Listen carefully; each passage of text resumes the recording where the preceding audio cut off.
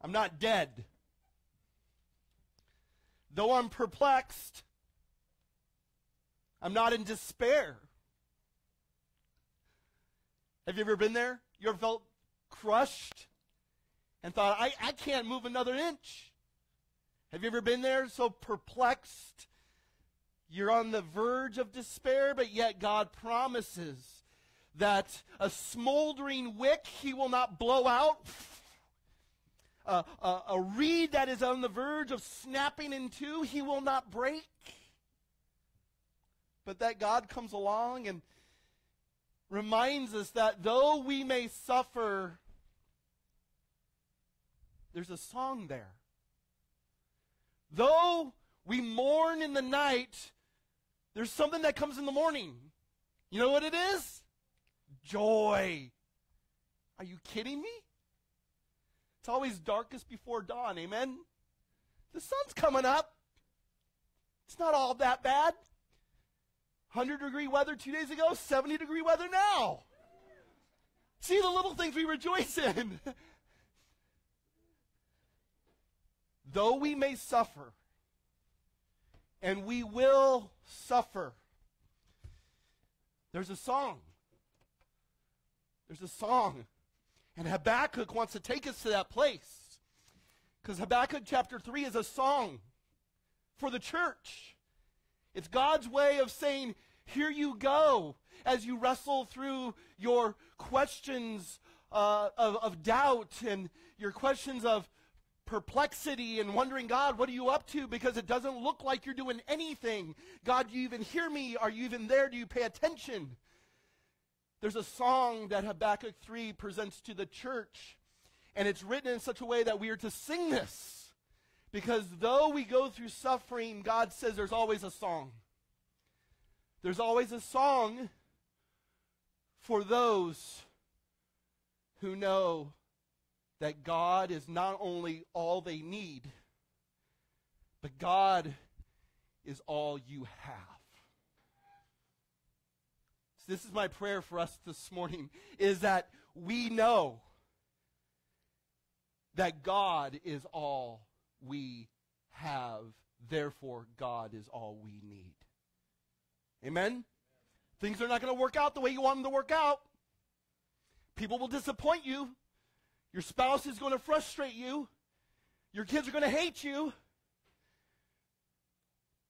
But even if those things don't turn out the way you want them to turn out, God wants you to know He's all you need.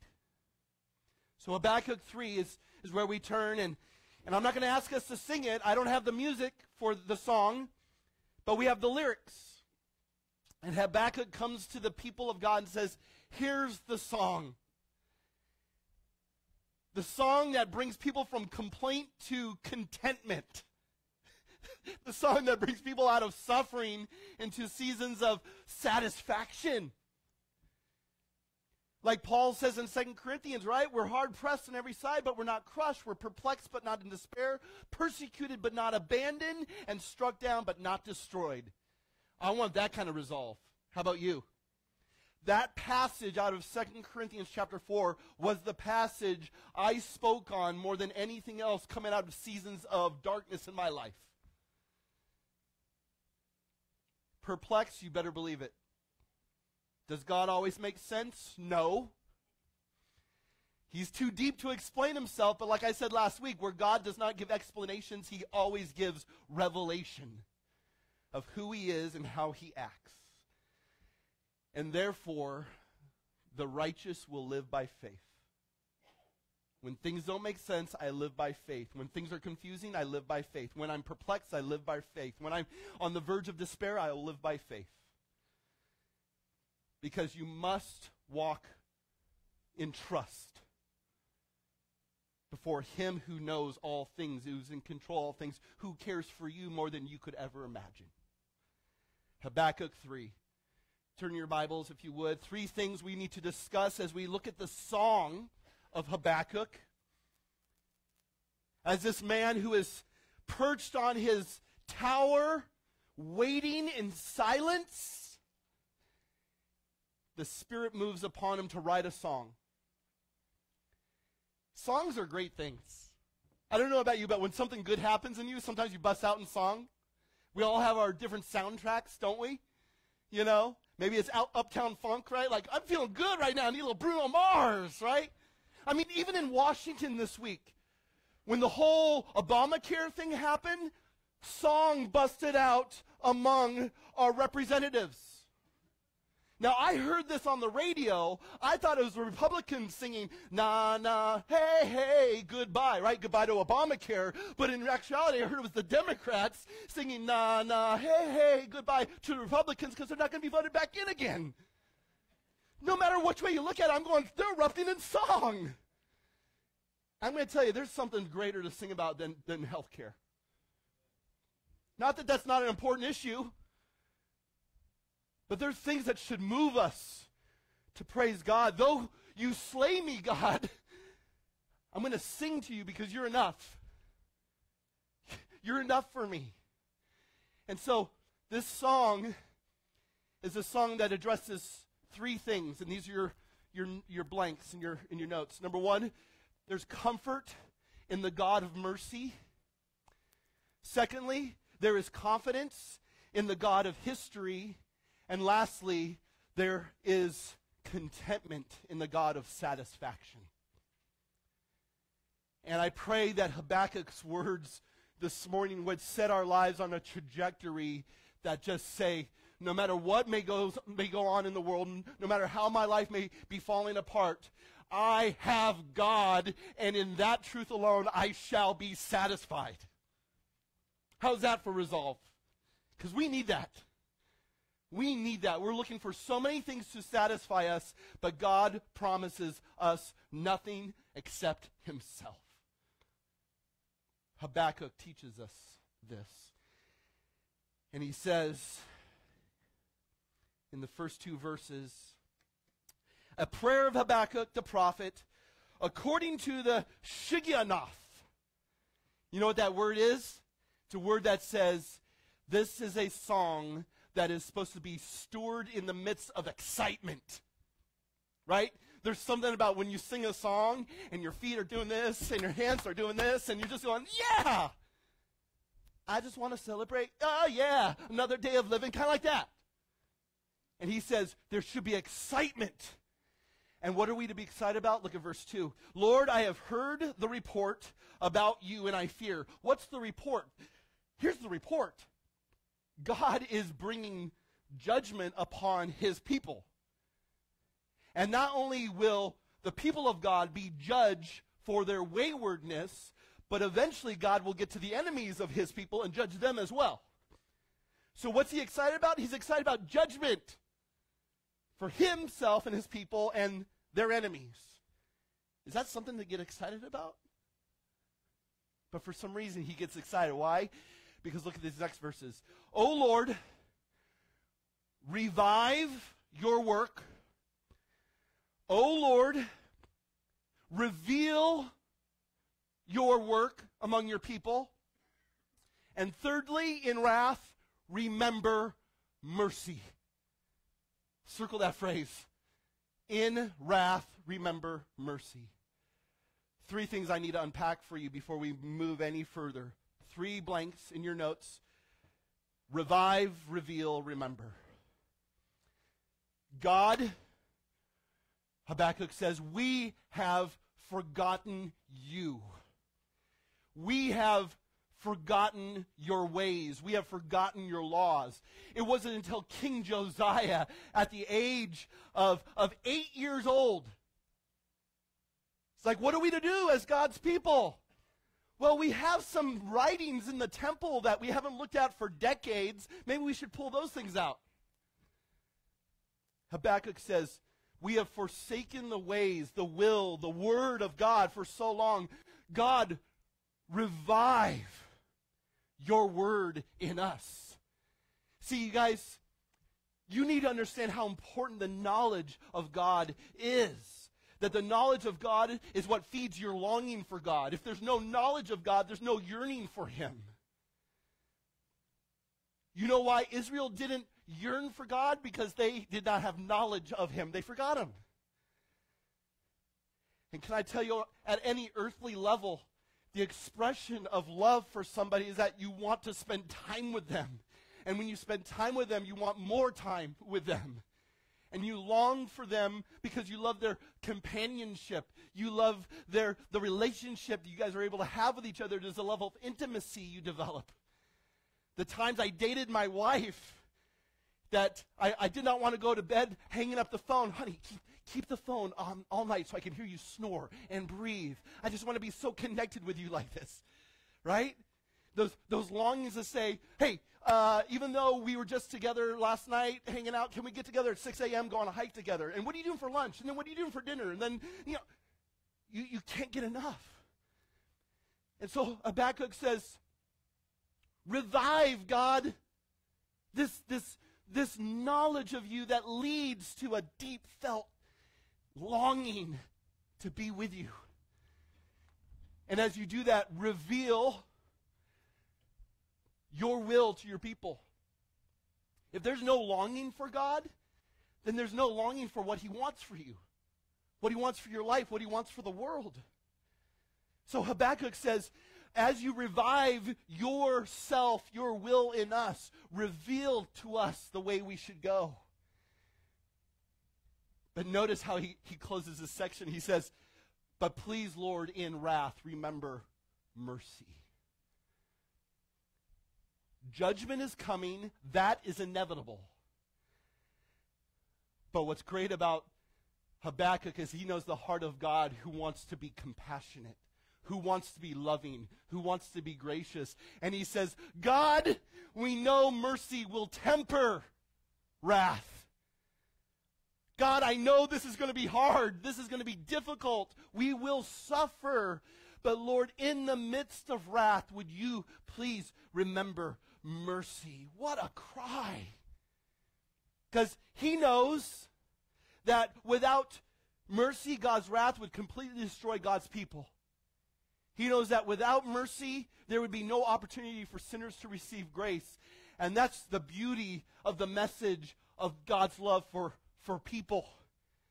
Is that there's wrath that is being built up against those who do not know him, but that wrath can be assuaged because God is patient.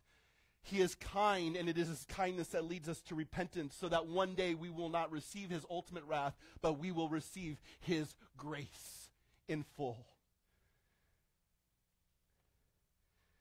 There's a video, I'm going to post it later on Facebook. I was thinking about posting it before the service. I said, no, no, too many people will be distracted. You'll all be on your devices. Like, it's a two and a half minute video of an Egyptian talk show. And there is an interview with a woman who is a Christian whose husband was murdered by Islamic group. And the interviewer is asking her questions, and this woman whose husband just died, who is a believer in Jesus, he died at the hands of, of Muslims. She communicates a message of forgiveness to those who killed her husband. And as she talks about the forgiveness, as she speaks about the forgiveness she's received in Jesus Christ and her hope in Jesus, the anchor of the Egyptian show is flabbergasted.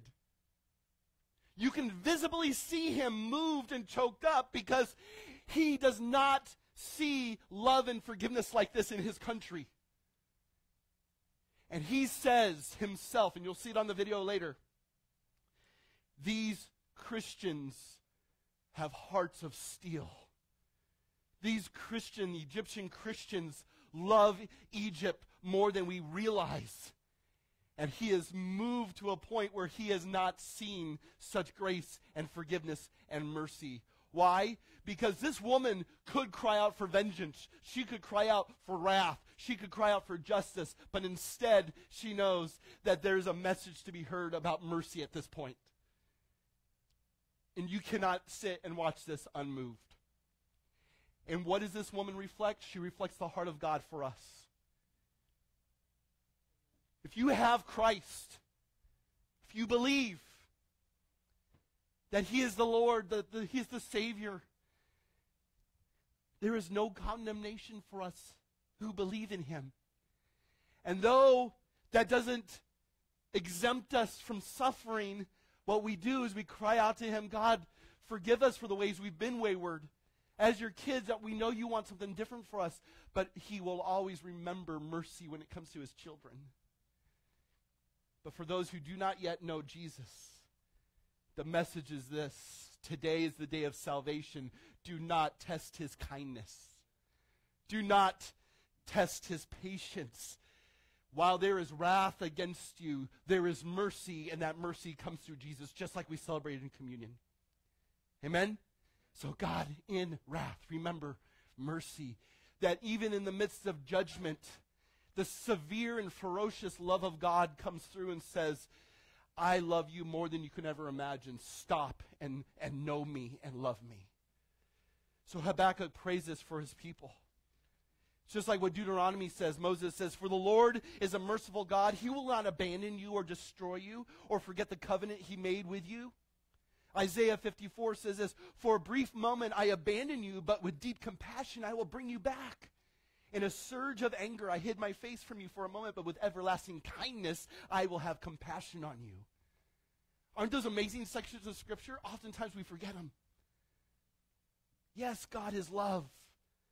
Yes, we would love a John 3:16 world. For God so loved the world. Yes. But we forget about the ferocious love of God, who sometimes he does things that unsettle us but ultimately it is for our good to trust Him more than we trust anything else. Amen? So there is comfort in God's mercy.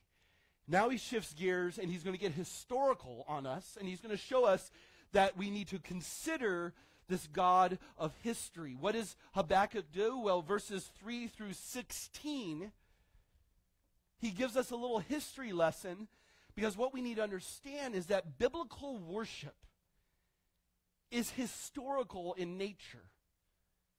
What we need to understand is our, our journey with Jesus is one of, of reflection of how God has acted in the past. Everything you have here is history. Think about this the greatest history book of all time.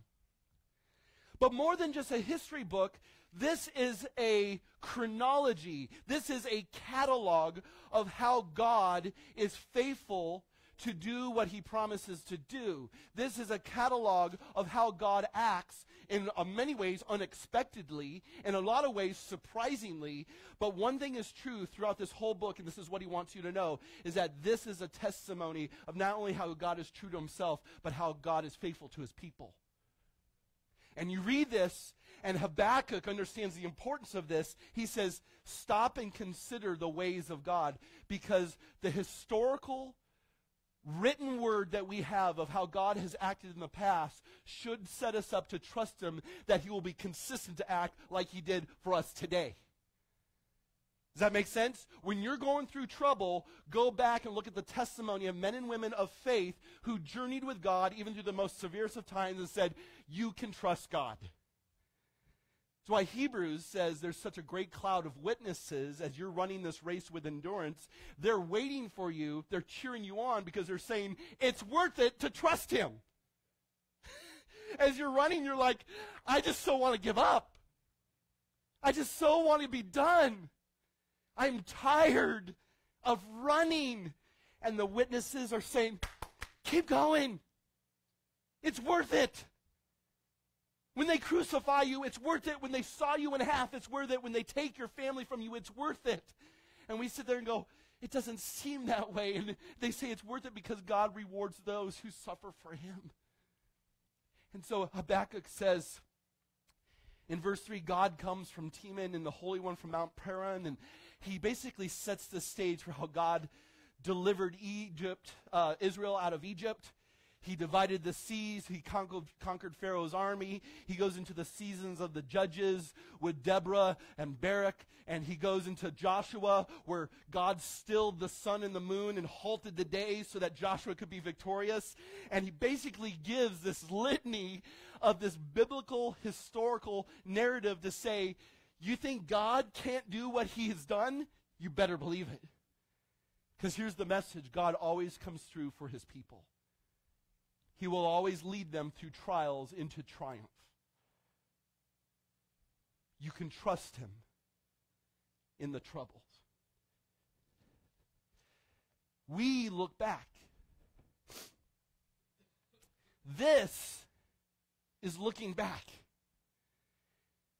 See, we treat this as, oh, there's just little cute plastic cups.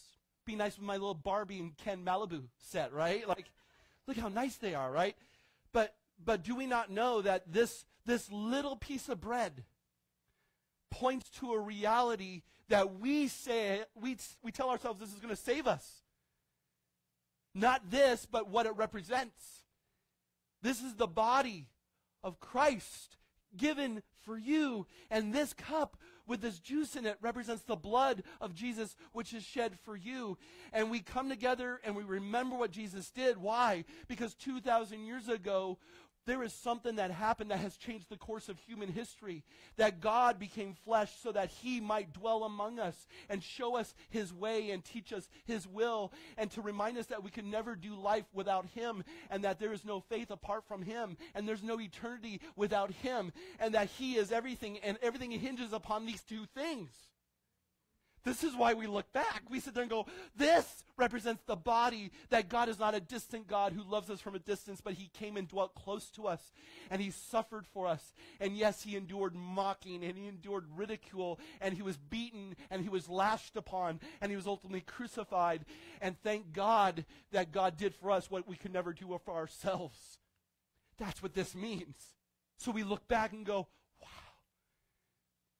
And if God did not spare his own son, do you think he's not going to come through for you on any other thing in your life? He demonstrates his own love for us that while we were yet sinners, he sent Jesus to die for us. And if he's given you that, will he not also give you all things? And the blood that was shed, the precious blood of an innocent lamb, the Lamb of God who's come to take away the sins of the world. The Bible says that blood is precious because blood carries oxygen. Oxygen equals life. And Jesus had to die a very real death and shed very real blood. Why? Because without the shedding of blood, the Bible says there's no forgiveness of sins. And we sit there and we hold these two things in our hands and we sit there and go, the bread's dry, the juice tastes weird. The cups are weird. This is a whole funky tradition, but it's given to us because this is representative of everything we put our hope in.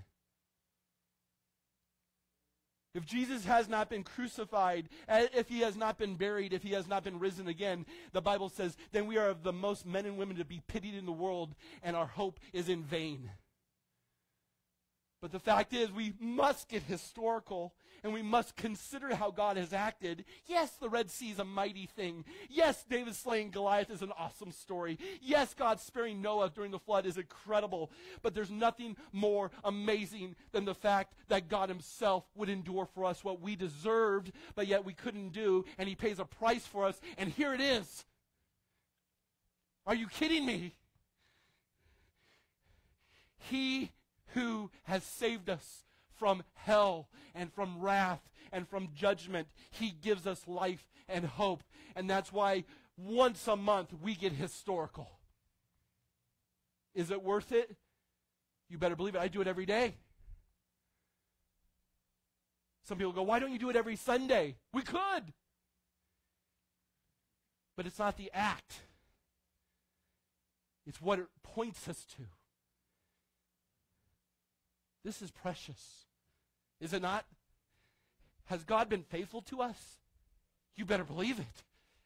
Has God proven himself time and time and time again? And Habakkuk says, Consider the God of history, who is also a God who is eagerly anticipating. Just so you guys know, I, I brought my own Kleenex, but I just failed to get it out of my pocket, right? Consider the God of history. That he is the same yesterday, today, and forever. He delivered Abraham, he delivered Moses, he delivered David, he delivered Ruth, he delivered you fill in the blank, insert your name there.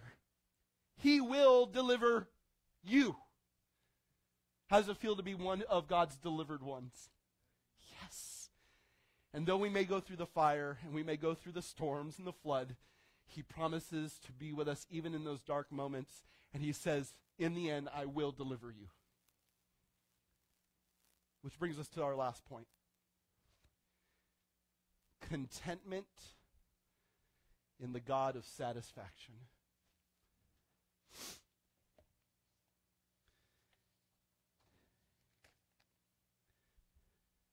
I think there's a there's a worthy thought right now that needs to be interjected. Can we learn to be patient?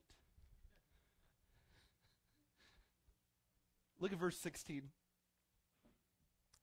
I heard and my inward parts trembled at the sound, my lips quivered, decay enters my bones, and in my place I tremble because I must wait quietly for the day of distress for the people to arise who will invade us. I think Habakkuk would be a lot like some of us who would just love to take matters into our own hands and, and just do what we, we feel like God wants us to do. But we are a people who don't know how to patiently wait. Circle that phrase. I must wait quietly. Can I, can I tell you why this is important? Because some of us do not know how to wait, and we run ahead of God, and when we run ahead of God, we always get in trouble. Amen? Some of you don't want to admit that right now, do you? Some of us do not know how to wait for God and there must be a willingness to wait patiently for him. Remember when biblical characters didn't know how to wait? Remember with Abraham and Sarah? Then there's this girl named Hagar. Abraham goes, Hey, I can't wait for this, so I'm going to go do this. Trouble. Moses and delivering the people. Yeah, God, I know you said this, but I'm just going to go ahead and take the reins here. And God says, I wanted you to wait, and now look. We have to learn to wait. Psalm 37, verse 7 Rest in the Lord and wait patiently for him. We had a mentor in our lives when we were going through some tough seasons who, who told us about the crucible, that place where the heat is, the fire's hot, the pain is real, and you just want to get out of that crucible. And the mentor told Lori and, and me, those moments you want to jump and you want to get out and you want to move on with things, sometimes you just have to wait and remain there. Can I tell you how tough that is? it's the last place you want to be, but it's the very place God has you. And only He determines the time when the crucible season's done. Don't, don't forget that. Too many of you are running ahead of God executing what's best, execute, executing what's comfortable, executing what's easy, and God's saying, That's not what I want for you. Stay in the pain, remain in the suffering. And at the proper time, God says, I will deliver you. Is that not true? And, and we sit here and we can sing about it now. Back when we were going through it, we were only cursing through it at that time. God, you love us? Doesn't feel like it. God, you want us to love you? We, we kind of hate you right now. But the sorrow has turned into a song. The, the mourning has turned into rejoicing because we chose to wait for God, which ultimately then leads to contentment verse 17. And I'm going to tell you right now, just go ahead and just circle, highlight, mark these verses. I can't tell you when I marked these verses as a young believer in Christ, but this is perhaps one of the greatest sections in all of the Bible. Even though the fig tree should not blossom, even if there's no fruit on the vines, even though the yield of the olives should fail, even if the fields produce no food, even though the flock should be cut off from the fold, even though there be no cattle in the stalls. This is a pretty bleak and desperate scene. Yet I will exult in the Lord. I will rejoice in the God of my salvation, the God who is my strength, for he has made my feet like hinds' feet and makes me walk on high places.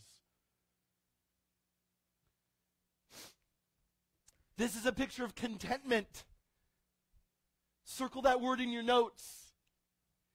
This is the very thought that Paul expresses in, a, in, in uh, Philippians chapter 4, where he says, Though I have a lot and though I don't have anything, though I have had tons of sleep and though I have, I'm going on 48 hours of no rest, though I am filled, there's times I'm hungry, but it doesn't matter what kind of circumstances I'm in. I know that in Christ I can do all things through him who strengthens me. Yes, it's a great verse for your, your, your workout training area. I can do it. Paul goes, I want you to take it deeper. Because this has nothing to do with how much you're bench pressing. This how much has to do with how much suffering you're going through. Paul knew it. And he says, I've run the gamut of experiences. I've run the gamut of possessions. I've run the gamut of education and work and relationships. But all I want you to know now, as a believer in Christ, Paul says, is that no matter what comes to you, it's not your circumstances you put your faith in, it's the God who loves you that you put your faith in.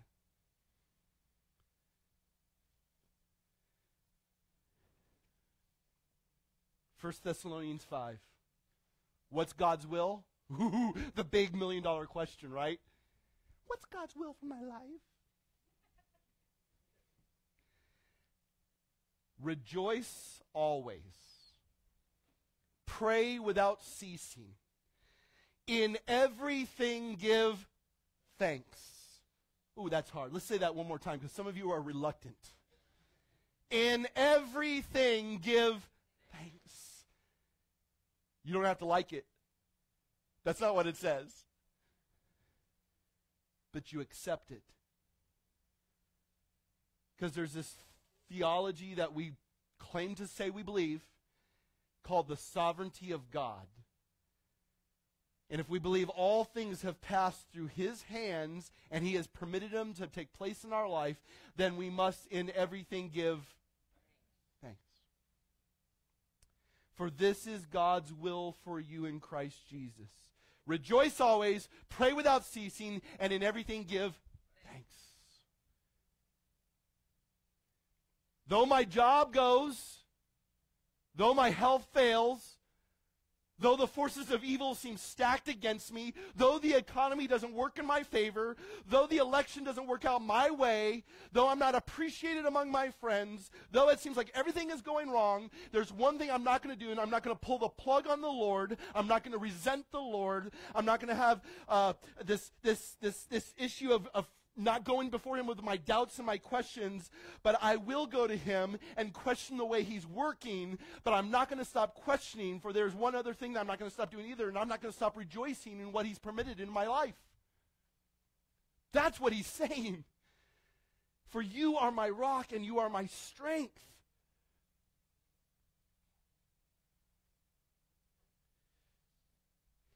And he gets to a point where he says, look in verse 19.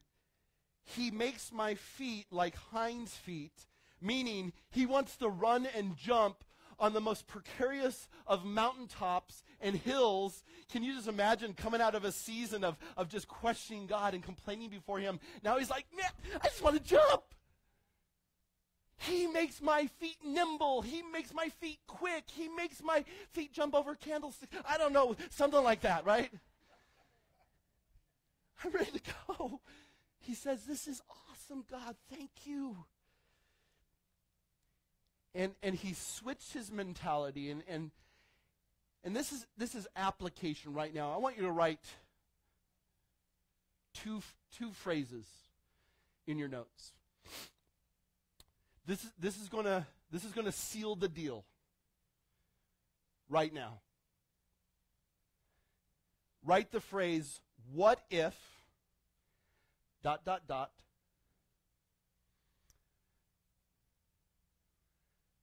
Because what if is the question that sab- sabotages joy in our lives? What if is the question that causes great insecurity to, to rise up within our hearts? What if is the very thing we wrestle with before God leaves us unsettled, destroys our peace, leaves us with a lot of lot of lingering questions. What if? Think about the Bible. What if God, who has promised me my son, Isaac, doesn't do some remarkable way of deliverance? There's Abraham. What if? What if if if Joseph's brothers come back to Egypt? What if our brother doesn't forgive us? What if if if Saul, the man who's chasing me and throwing spears at me, trying to kill me, what if God he kills me? What if the Roman government finds us? They've killed our, our, our, our Savior. Now they're after us. What if we die? What if, what if, what if? What if I get cancer? What if my ch- children, what if my child rebels against me and doesn't walk with the Lord? What if I lose my job? What if the stock market crashes? What if Trump gets elected a second time? What if, what if, what if? Can I tell you, too many of us are guided by the what ifs of life, and God says, that is not what I want you to be controlled by. None of us are immune to pain and suffering in this world. Any of these things can happen to us. No one is free from tragedy and pain. There are no guarantees of an easy life for any one of us ever. Please, can I apologize to those of you who were sold a bill of goods that someone told you when you come to know Jesus, things are going to get better? Sometimes they don't. Now, the caveat is ultimately they do. But sometimes it gets worse to show you how much better it's going to get. 2 Corinthians chapter 4. Though the outer man is decaying, the inner man is being renewed day by day. And the momentary light affliction is preparing for us an eternal weight of glory, of which we are not even prepared to receive because it's so amazing. But you cannot be controlled by the what ifs. What Habakkuk teaches us is there's a second phrase even if. This is the question of ultimate freedom. This is the question of ultimate peace. This is the question of ultimate contentment. Even if, God, there's no fruit on the tree. Even if, God, there's no fruit on the vine. Even if my situation doesn't turn out better, even if there's no cattle in the stall, even if everything just comes to a crashing halt and there's no evidence around me of your goodness, even if I will still trust you. Daniel chapter 3. You think Habakkuk's on, on something? He's not. Well, he is, but he's not. Daniel 3, Shadrach, Meshach, Abednego, Daniel's best buddies. They're besties, right? They're standing before a king that they refuse to bow down to and worship. He's threatening them with death, with fire. And they tell the king, even if you throw us in there and we die, we will never bow to you. Even if you threaten us by taking our life, there's one in whom we will trust forever and ever and ever. Even if, God, my spouse never likes me again. Even if, God, my child gets sick and dies at a young age. Even if my thought of a promotion gets past me and goes to somebody else, even if I never have a car that's newer than 20 years old, even if my ministry is never fruitful, even if I never get married, I will trust you.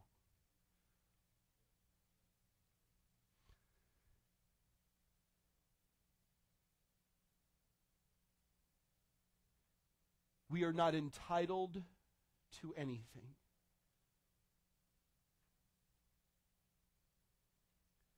We have this unequivocal written contract with God that we feel like, hey, God, if I do this for you, you're going to do this for me. And we go to God as if, you know, there's a spiritual barter system. Can I tell you? The moment you say, God, I only need this to be happy, the very thing that you're asking Him for you to be happy is really, in essence, your God, not Him. Okay, let's, let's just come down to brass tacks right now. God, I just need this, then I could serve you. I just need this, and then I'll be content. I, I just need this, and I'm going to be happy. There's your idol. And God wants to get you to a place where He says, You have me. That is enough.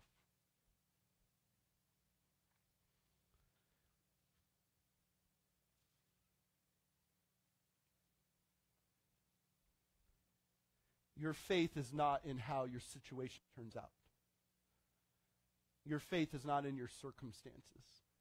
Your faith is not in your faith. Your faith is in God who is ever faithful to us. Amen. See, Habakkuk may not have understood God's ways, but he certainly began to trust God's wisdom. Can, can you move into a season like that? God, I don't know what you're up to, but I'm going to trust you. You know what you're doing. Amen? His ways are perplexing, yes. His ways are, are difficult to perceive, yes. But is he wise? Did, did he pass high school geometry? Did he pass seminary level theology? Even with all the resources entirely spent, we have God, and in God alone, He is our strength and our hope and our rock in all situations and circumstances. Amen? Wow, Habakkuk is just, it's crazy, isn't it? But I love it because it's right where I'm at. And you love it because it's right where you're at. And we don't have to sit here and BS our way through, through our spirituality, do we? You know, we want Jesus to be all about daisies and fluffy poodles and popcorn and things like that, right? But the reality of it is, man, sometimes we go through hell. But the reminder is this God is with us every step of the way. And perhaps He's trying to get you away from all the other stuff that you think is satisfying to remind you that your only satisfaction is Him. Amen? Let's stand. I can't go on anymore, you guys. This is. no, not another hour, please. I'm going to. I want you to know that we want to be here to, to just pray for you. And I talk to you guys, and you're going through difficult times, and we love you, and we want to journey with you. Forgive us for trying to explain what's going on in your life. Sometimes I have that problem. And sometimes you just need people that are just present who are going to just love you and pray for you. I'm going to have a couple of our deacons present with just to, to pray. Mike Bachmeyer is going to be over here. Tim Bike is going to be over here. Avail yourself to these guys who just want to love you. Lori will be available to pray, and uh, Linda, and uh, anyone. Just say, Can you pray for me? We're desperate, aren't we? But we're not despairing because God is, is awesome. Father, Wow. You've revealed yourself to us in ways that speak to those deepest recesses of our spirits. Where, where we thought no one could ever get in, no one could ever understand, no one could unlock, no one could shine a light in such darkness. But Lord, there's a, there's a freeing sense of, of your presence in the midst of darkness that, that fuels us towards something satisfying that the journey is difficult and the, and the way seems long and, and your methods seem utterly confusing and beyond us, Lord, your, your presence, the fact that you, you promise to stick close to us, is, is all we need to hear. Thank you, God, for never leaving us or forsaking us. For God who, who promises to to continue to reveal yourself to us. That you're too deep to explain yourself, but you're, you're more than gracious to, to, to accompany us in this thing we call life. And it's only because of Jesus, who, yes, has overcome the world. Hallelujah. Who has suffered for us so that we could not experience the level of suffering that he endured on our behalf. Hallelujah. But you have promised us life and life abundantly. And that's what we seek, Father, from you, the giver of life, the giver of hope. Apart from you, we can do nothing, but with you, we have everything. Remind us that, show us that. Thank you for this morning, for this family. Guide and direct our steps, Father, and remind us that even if things never work out the way we anticipate them to, you are our God. And we will trust you. We pray this in Christ's name. Amen. May the Lord bless you and keep you. May the Lord continue to lift his face toward you and give you his peace and mercy and grace forever. Amen. God bless you guys. Pray with someone if you need that. We're here for you. Have a great week.